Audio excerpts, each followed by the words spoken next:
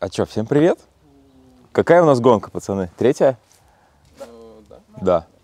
Третья, третий этап латвийского дрифта, латвийского чемпионата по дрифту.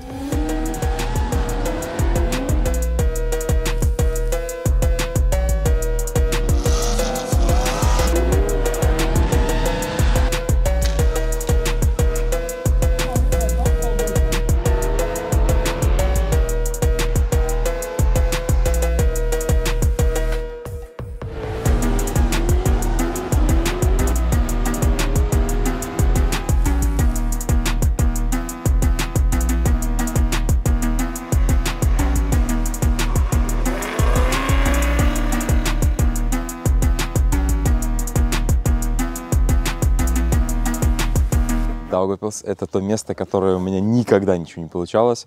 То постоянная проблема с машиной, кто меня давно смотрит, то какое-нибудь раздутое колесо в топ-32. То есть трасса, которая прям всегда не принимала меня никаким образом. Давайте я не буду вдаваться в технические, административные подробности, но просто скажу вам, что один раз в год я имею право перейти э, в, в другой класс и вернуться обратно, например. Поэтому сегодня здесь, на этой же трассе, абсолютно одинаковая конфигурация, едет Street, Semi-Pro, мой класс, и Pro класс. Так вот, я сегодня поеду, сегодня-завтра поеду в двух классах. Это в Semi-Pro, основной мой зачет, и, скажем так, for fun, ради удовольствия, в Pro классе. Э, шансов у них уехать, конечно, больше. Они едут на 265-м слике. Это вот такое вот колесо, которое нереально прилипает к асфальту. А у меня всего лишь 225-е уличное колесо, которое регламентировано semi-pro классом. Я не стал покупать, вот они лежат, я не стал покупать какие-то жирные покрышки еще тогда. Просто поедем на этих же колесах в про-классе. Сразу скажу, что там заявлено буквально от 8 до 10 участников, совсем мало, но просто покатаемся, посмотрим, можно ли на нескоростной, довольно-таки затупной трассе для про-класса для нас она более-менее подходит. Можно ли конкурировать с ними, соответственно, в тандемах? Поэтому готовимся, тренируемся, квалифицируемся сегодня в Pro и в Pro. А завтра у нас будут тандемы, опять же, в Pro и Pro. Погнали!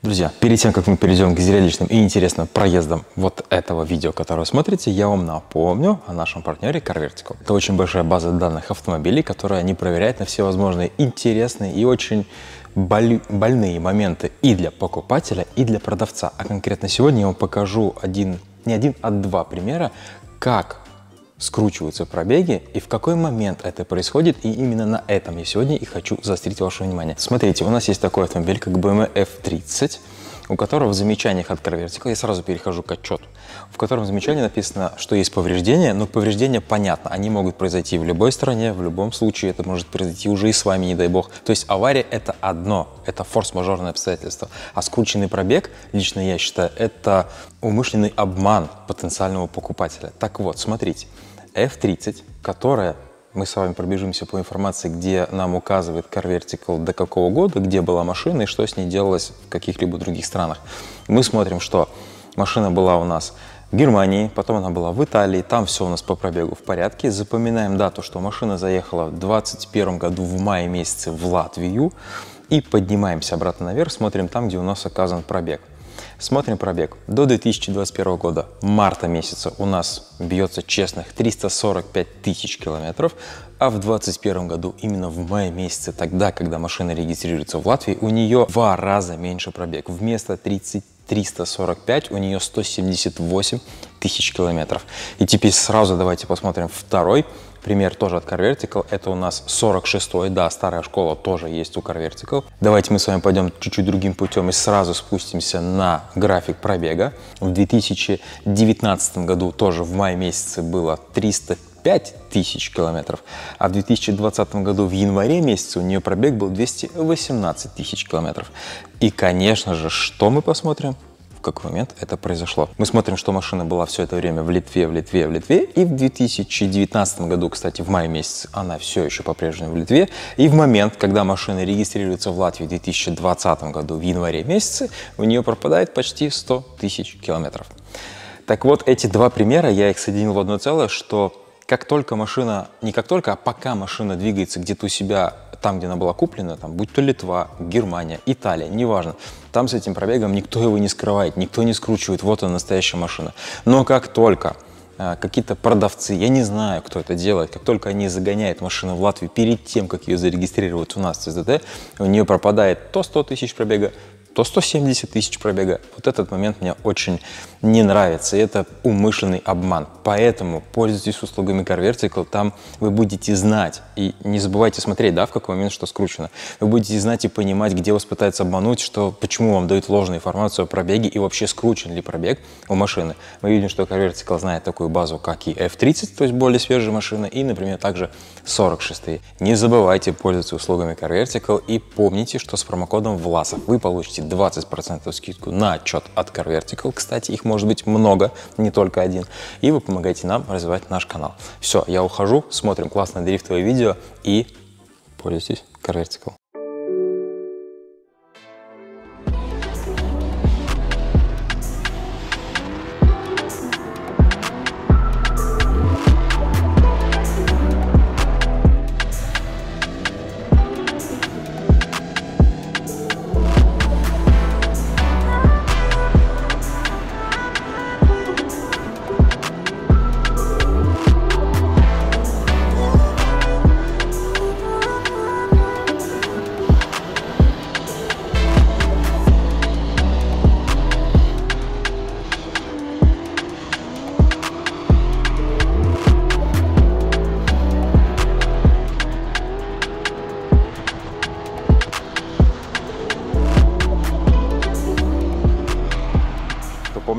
Году здесь дебютировала, скажем так, наша тогда еще итальянка. Э, просто сейчас она называется у нас Latvian Hornet, да, то есть версия 2, кто вдруг не помнит. То есть здесь мы дебютировали на ней в прошлом году, первый раз приехали, обкатали, потестировали, и вот спустя год мы сюда вернулись. Она уже, кстати, у нас, э, в отличие от прошлого года, в дизайне немножко прикатанная. Я немножко научился на ней ездить, поэтому приехали сюда за результатом. Вчера потренировались.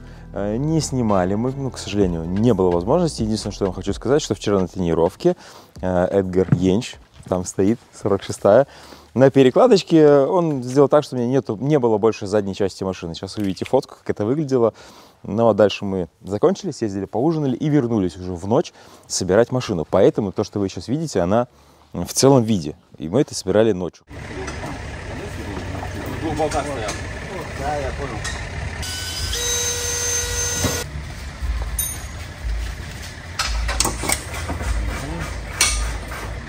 А что здесь а. был, где типа просто... А, вот тогда вот сюда вкручивай его, вот в верхнюю дырку, не сюда его сейчас перекрутить. Кому ты будет закручивать? Здесь насверливаем на земле, и потом по факту вдвоем держит, а один насверливает сразу пару коммутиков. Да.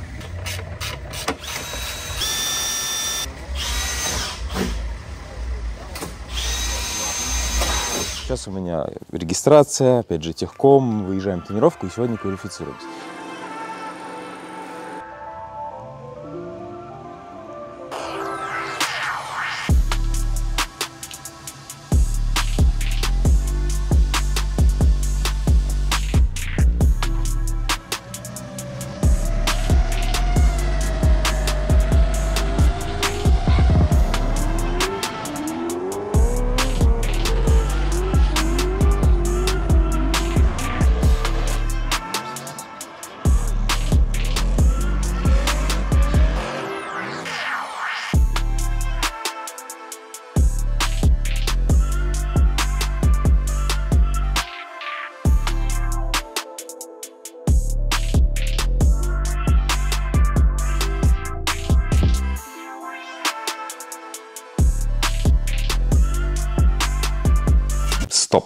Давайте чуть подробнее. Точнее, не то чтобы подробнее, а я вам поясню все-таки, что происходило в те дни. И сейчас вот то, что я записываю вот здесь, сидя у машины, это уже немножко из будущего по сравнению с тем, что вы смотрите сейчас вот те, то мероприятие, про которое, собственно, и видео.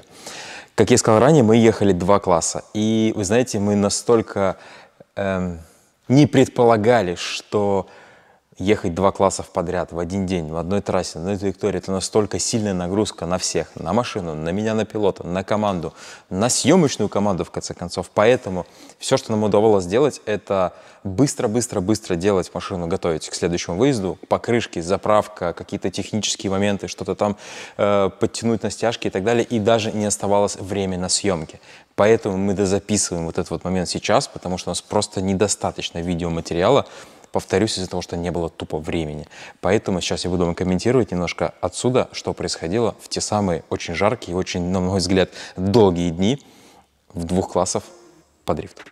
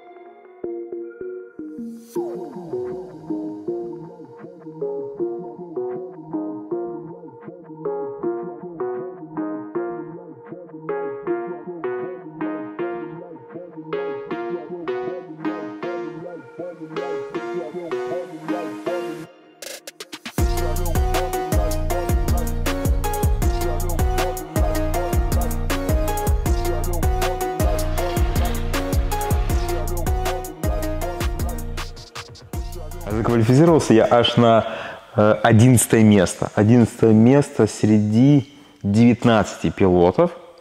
И 18 из них получили баллы, соответственно. Поэтому у нас был топ-16. В топ-16 я выезжаю против... Э, поэтому у нас был топ-16.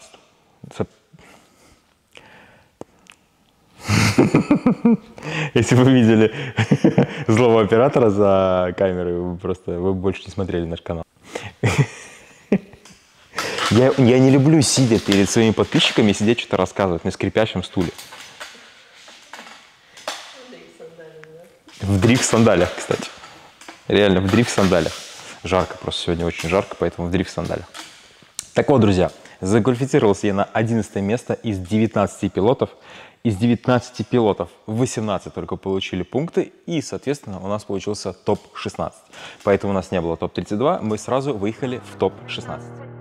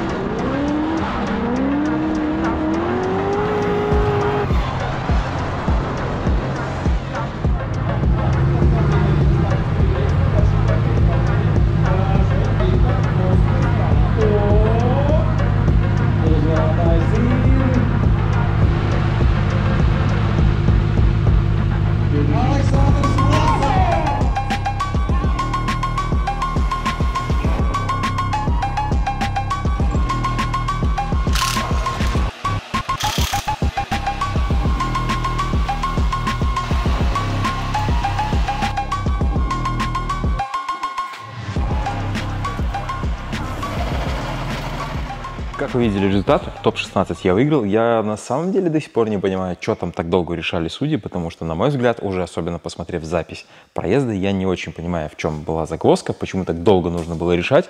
По-моему, победа была очевидна, мы оба проехали лидером плохо, но преследователем я проехал, мне кажется, лучше. Все, проехали топ-16, поехали топ-8. И все, повторюсь, это semi-pro топ-8.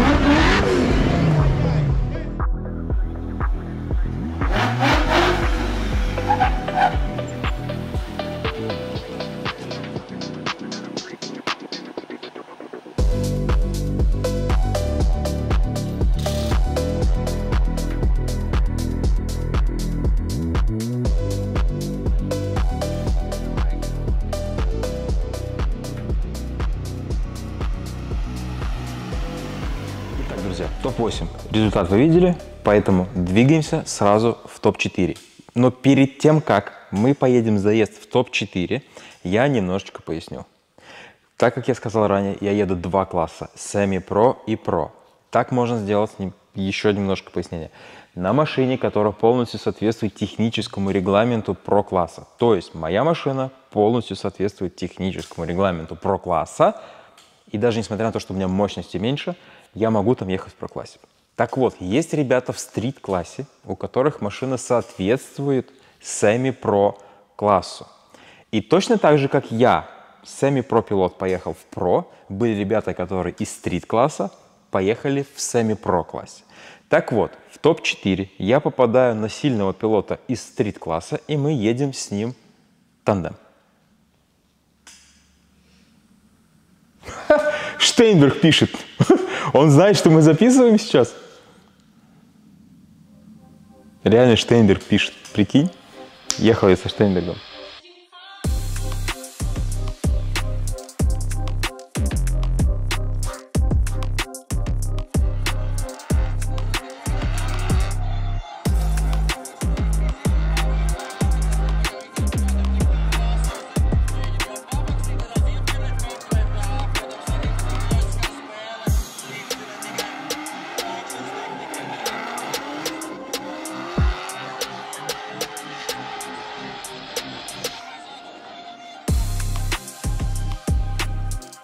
Видели проезд мои- в моем исполнении преследователем за стритовой машиной. Прошу обратить ваше внимание, что у стритовой машины нету такого большого угла, как у нас. Ну, соответственно, мощность чуть меньше.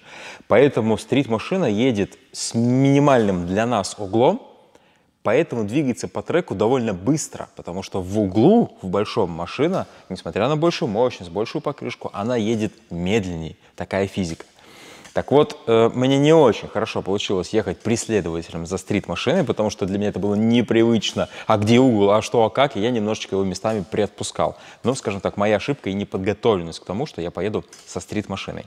Дальше мы меняемся ролями и смотрите, что из этого получилось.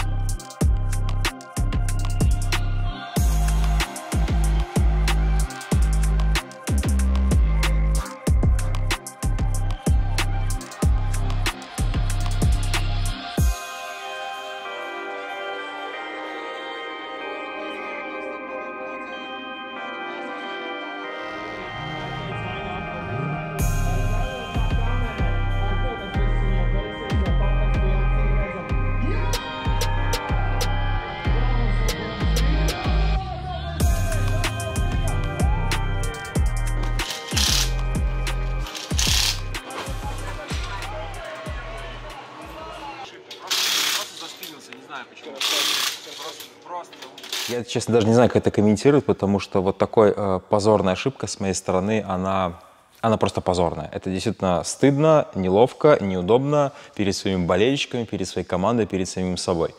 Э, попробую в двух словах объяснить, как это получилось. Вернемся на несколько часов назад на собрание, на брифинг так называемый, где мы знали, что с нами едут машины из стрит-класса.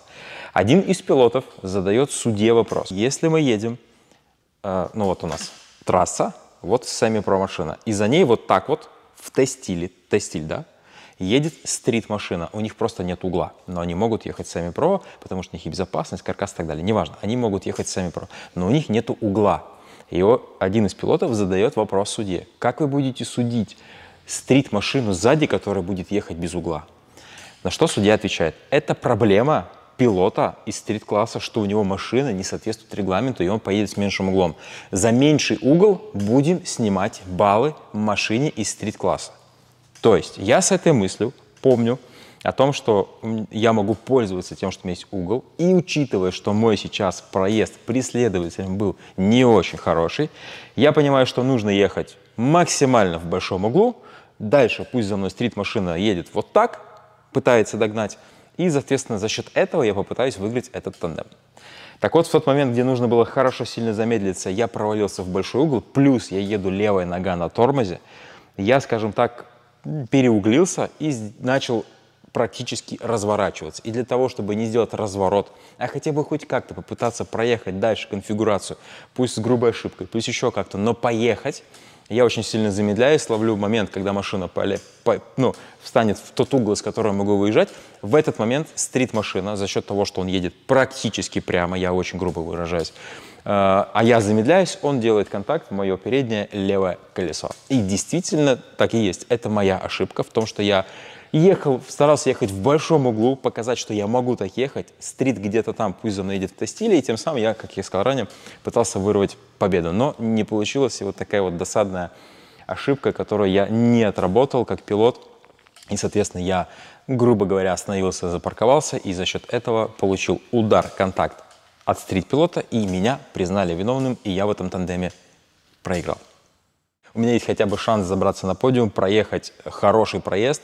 Вообще, честно, не знал, с кем еду, со своим соперником в топ-4, то есть в битве за третье и четвертое место, и хотя бы вскарабкаться на подиум именно на третью позицию. Но по счастливой или несчастливой случайности. Я не знаю, как это расценивать. С одной стороны, это очень легкая история, легкий путь, но не было борьбы и не было битвы мне на старте сообщают о том, что мой соперник, эстонец, не выезжает на, не готов ехать тандем по техническим проблемам. Как выяснилось позже, у него развалился двигатель. Поэтому я автоматически попадаю в Байран, свободный проезд, и тем самым сразу же, без каких-то вопросов, занимаю третье место. Ну, для того, чтобы я его э, получил, мне нужно было выехать на трек, пересечь линию постановки и хоть сколько-то проехать по треку, соответственно, и это было бы в зачет, чтобы получить место на подиуме. Байран, поясню, это проезд, когда у вас нет соперника, вы просто должны проехать. Я занимаю в Сами Про третье место. Ура! Вторая тумбочка в подряд. Да, к сожалению, не финал, э, потому что в финале, кстати, встретились две машины из стрит-класса. Из стрит-класса, представляете, доехали до финала. И я единственный с Сами Про, кто с ними стоял на тумбочке. Ну, это просто взрыв мозга вообще. Ну, как это так? Вы, пилоты и другие пилоты из Сами Про класса, вы вообще где? Вы что делали? Почему я один э, стоял на подиуме? Вы где? Алло, давайте ездить начнем. Так вот, Сами Про, третье место. Можешь аплодисменты поставить, пожалуйста? Ну что, а вы помните, что я сказал, что мы едем в про-классе, и про-класс для меня был, это, повторюсь, for fun, то есть ради удовольствия, ради просто очередной, скажем так, тренировки, наката и так далее. Да и вообще было просто интересно попробовать, можно ли соревноваться с про-классом на такой затупной трассе. Немножечко сразу поясню вперед. Многие после гонки ко мне подошло большое очень количество людей в этом году. Кстати, всем передаю привет. А, задали вопрос, типа, мощности не хватило? Или, кстати, вечером я видел судей, они типа, Александр, что тебе, мощности не хватило? Нет-нет, друзья, а, Например, часть пилотов, с которым я по итоге поехал в про-классе, у них мощность на каких-то 50 или 60 лошадиных сил больше, чем сейчас у меня. Дело в том, что трасса очень короткая и очень нескоростная, и там мощность не нужна. Но Так как мой основной класс Semi Pro, я говорил об этом ранее, у нас регламент 225 покрышка, именно уличная, не какой-то Semi Slick, Slick и так далее, то есть никаких спортивных покрышек. В Pro-классе можно ехать до 265 колеса, и оно может быть спортивное, то есть липучка, которая очень хорошо липнет к асфальту. Так вот, весь Pro-класс, они ехали на таком жирном колесе. Я не подготовился, я не покупал никакие колеса модные, сильные и так далее. Я просто поехал на своем 225-м, оператор, будь здорово. Напишите комментарий, пожалуйста, будь здоров. Я поехал на своем 225-м любимом Санфуле, на котором едет весь Semi Pro класс. И, соответственно, вот где вы сейчас увидите места, где мне немножко, ну немножко, а местами много не хватало дистанции, чтобы ехать близко, это не потому, что машина не может, а потому что колесо мое не может меня толкать так быстро вперед, как толкает пилотов из Про-класса. Итак, Про-класс. Едем в квалификацию.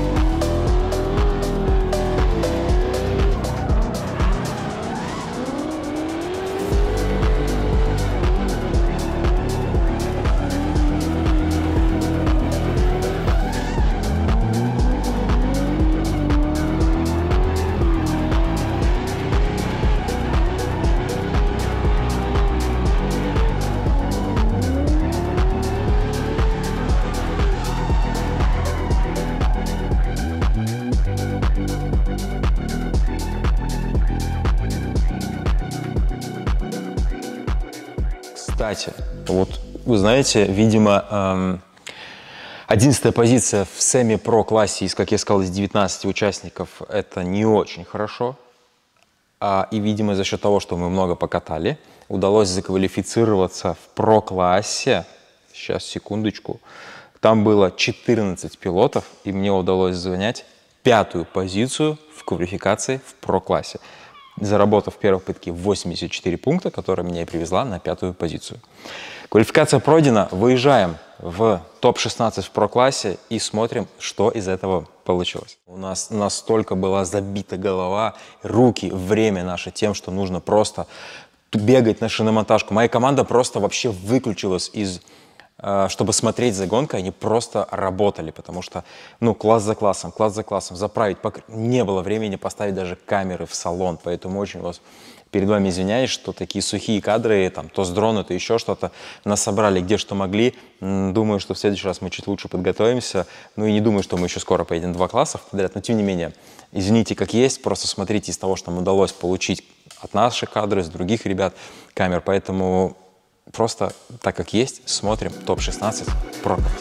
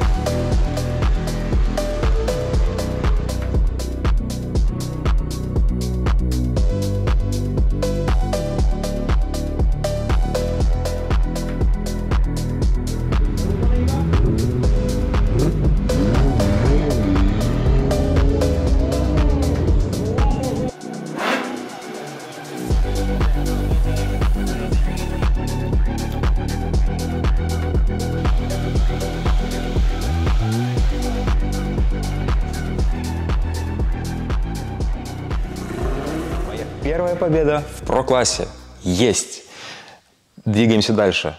Я, знаете, когда ты едешь в семи-про, это тот класс, который для тебя ответственный. Это тот класс, за который ты за чемпионство борешься. А про-класс, скажу еще раз, это просто покататься с крутыми, сильными пацанами на серьезных машинах. Это моя первая победа в про-классе, и я вообще на кураже, мне абсолютно все равно, на что там, кто с кем едут, давай, поехали дальше. И я в топ-8 выезжаю против Артурс Мишкинс, это 36-й V12 битурбо, если я не ошибаюсь, с которым я выезжаю, собственно, на тандем. Смотрим, что получилось из этого.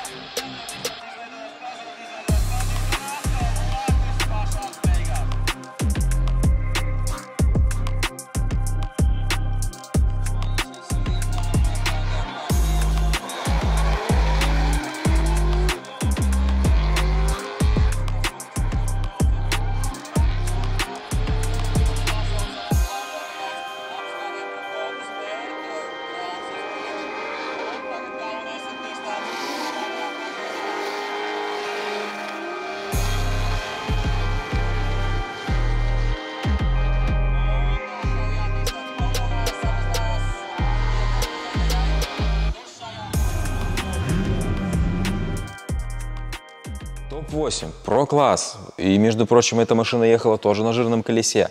Мы получаем ОМТ, то есть one more time, мы едем еще раз. Это было для меня таким, типа, черт возьми, что, как такое может быть? Ладно, выдвигаемся на перезаезд в топ-8 с Артурс Мишкинс. Погнали.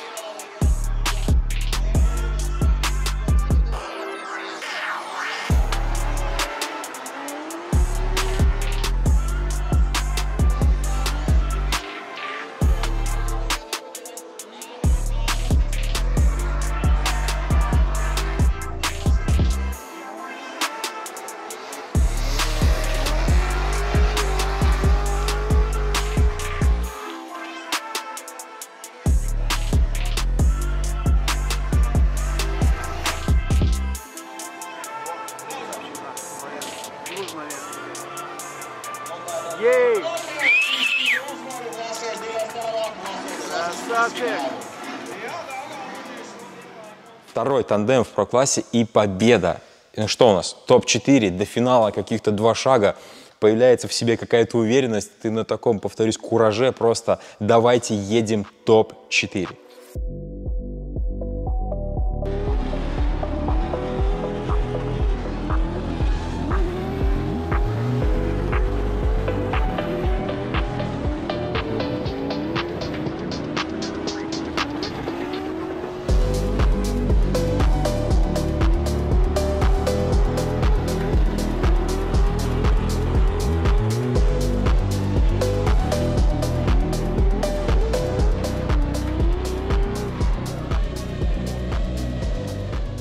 Кстати, проезд в топ-4 с Эдгарс Крогерис – это пилот, который когда-то ехал в стрит-класс, титулованный в стрит-классе, потом семи-про, титулованный, и в про-классе тоже титулованный. Это сильный пилот, который, кстати, и в Masters появляется и так далее.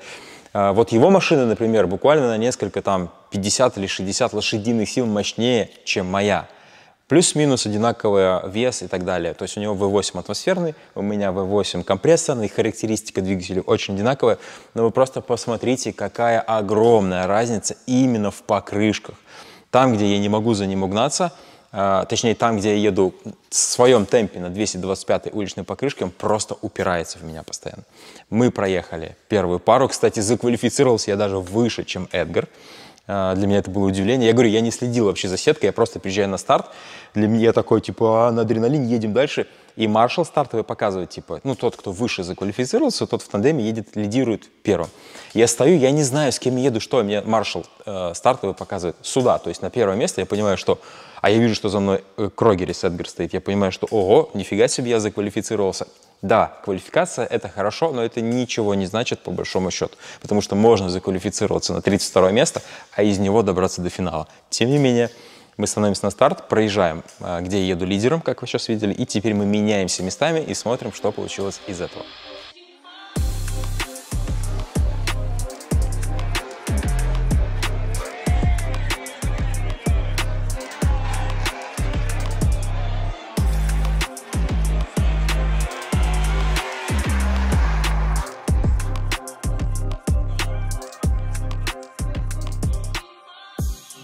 Тут, друзья, получилось очень неожиданно. Давайте так, неожиданно, но очень эффектно. Ведущим и всем зрителям это очень понравилось. Единственное, я хочу принести свои извинения перед теми зрителями, которые попали под град камней, земли и всего остального. Это было не специально, я прошу прощения. Тем не менее, в попытке угнаться за, на таких разных покрышках за Эдгаром Крогерисом, и я просто еду на все бабки, как говорится, и меня вытаскивают на наружу. Я заезжаю, извините, жопой автомобиля, жопой э, шершня, в гравий, в песок, все, на куда я там попадаю, я уже не помню, разламываю к чертям всю свою машину, всю свою заднюю часть и заканчиваю на этом свой проезд. Сразу скажу, что с машиной технически все в порядке. Все, что вы видели, оторванные детали кузова, это пластик, который просто покупается новый, откручивается там 5 саморезов на 5 болтов на одном крыле, ставится новое, обклеивается и едем дальше. Ну что, топ-4 проигрыш э, просто, просто не угнался и немножко перестарался в плане темпа и за счет меньшего держака на задней оси я вылетел за пределы трассы, тем самым я проиграл. Но, как вы помните из Semi Pro, если ты проигрываешь в топ-4, у тебя еще остается возможность борьбы за третье место, и я выезжаю на тандем за третье место. Этот парень едет на Пантиаке, очень интересный автомобиль. Кстати, тоже титулованный э, пилот pro-класса. По-моему, если я не ошибаюсь, в основные свои гонки едет в Англии. Надеюсь, я правильно все говорю. И вот он приехал в Ригу, сам он рижанин, насколько я опять же правильно понимаю. Приехал в Ригу, который поехал в Даугавпилс, а после он еще и поехал в Drift Masters, кстати. Так вот, выезжаем мы против этого Понтиака, и просто посмотрите, ну, скажем так, это избиение младенца, потому что, опять же, решила все по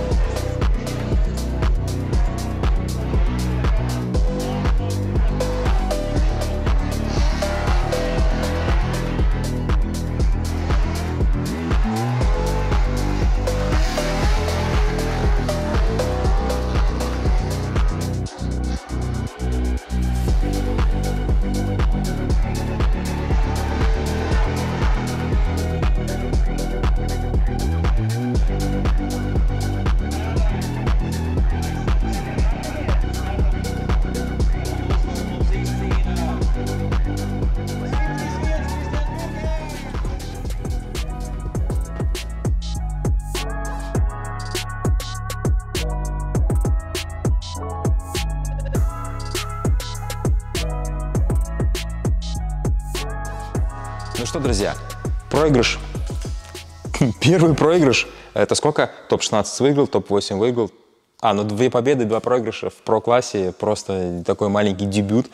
Э, Тем не менее, сразу поясню, я возвращаюсь обратно в семи Pro класс, я не еду пока Pro, и мы едем там чемпионат дальше. Обычно на гонках ты не успеваешь, даже доезжая до финала, что было вот в предыдущем э, соревновании, да, ты все равно еще на таком, типа, «А, погнали еще, еще, еще.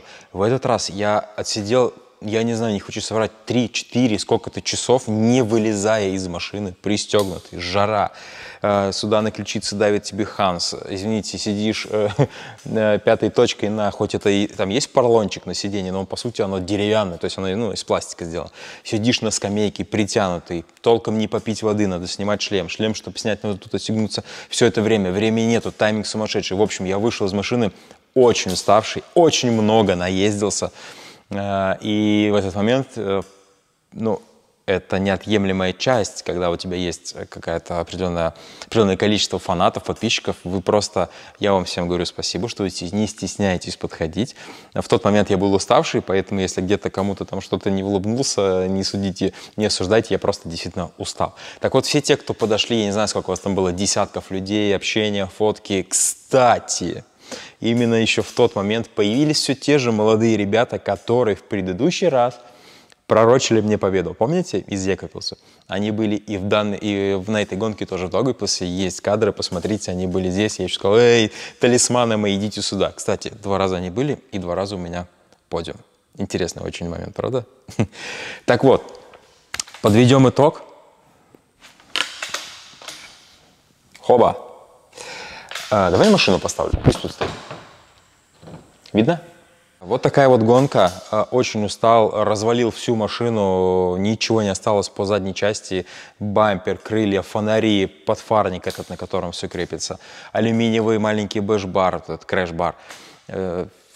Короче, ребята только успевали сверлить мне дырки и ставить все на стяжки, чтобы машина выглядела хоть как-то. И можно передний бампер. В общем, просто на каком-то э, Франкенштейне я доезжал до топ-4, до, до, в про-классе.